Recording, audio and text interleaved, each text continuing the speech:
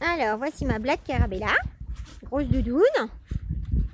Grosse mémère. En cours de saillie. Nous avons ici Kissou Kissou.